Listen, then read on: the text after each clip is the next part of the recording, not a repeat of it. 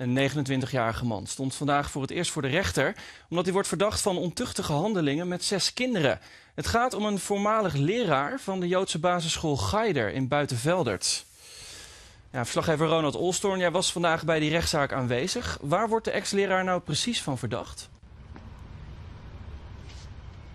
Hij wordt ervan verdacht dat hij uh, twee van zijn leerlingen, die destijds uh, onder de 12 jaar waren, dat hij die ernstig seksueel heeft misbruikt.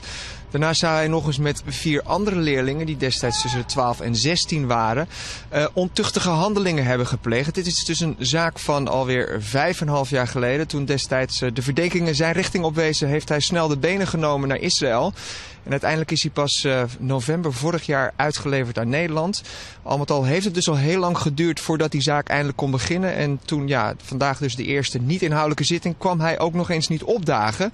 Uh, dat leidde natuurlijk allemaal tot uh, grote frustratie bij de ouders het is nog steeds zwaar voor ze. En het is natuurlijk lang geleden. Dus uh, voor de kinderen zelf, nou ja, goed en kwaad als het gaat, zijn die weer bezig om hun leven weer op te pakken.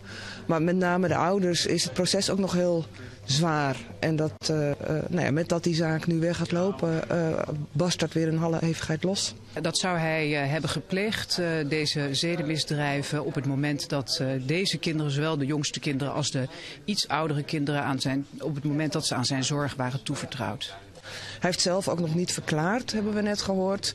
Uh, dus we weten ook nog niet of hij het gaat toegeven of ontkennen uh, wat zijn houding daarin zal zijn. Nou, en ook dat is voor de ouders natuurlijk heel belangrijk om dat gewoon te weten. Van, van, komt er erkenning voor wat onze kinderen hebben meegemaakt? Of komt er een, ja, een moeizame juridische gesteggel nog weer daarover?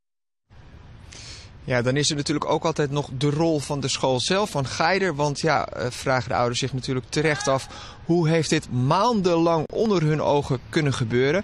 Uh, ze zijn daarvoor al civielrechtelijk uh, aansprakelijk gesteld. Maar ja, de, de ouders hopen natuurlijk ook wel dat over de rol van de school, dat daar gedurende deze strafzaak, ja, dat daar ook natuurlijk antwoorden op komen. Um, een strafzaak die overigens verder inhoudelijk behandeld zal gaan worden maart, april van dit jaar. Ronald Olstorn, dankjewel.